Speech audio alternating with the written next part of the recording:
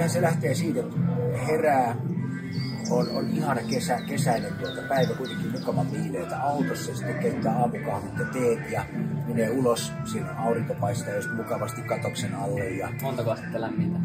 Semmoinen, ehkä se aamu semmoinen 21, just semmoinen sopiva. Laitetaan näin jees. tarkka. Sitten vähän lukee kirjaa siinä, ei mitään kännyköitä eikä läppäreitä ja Lore on hyvä tekee munakkaita.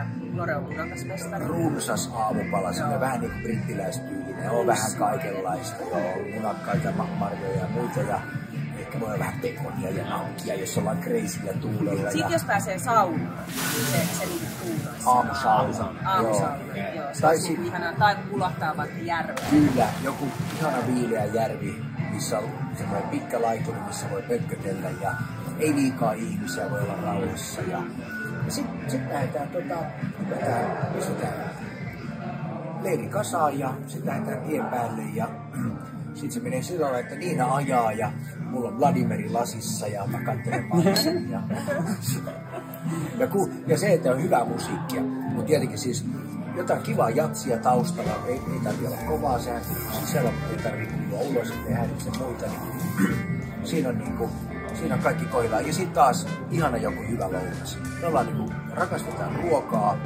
ja tota, se on meillä keskiössä aina. Hyvä aamupala, lounas, päivällinen ja tämmöinen.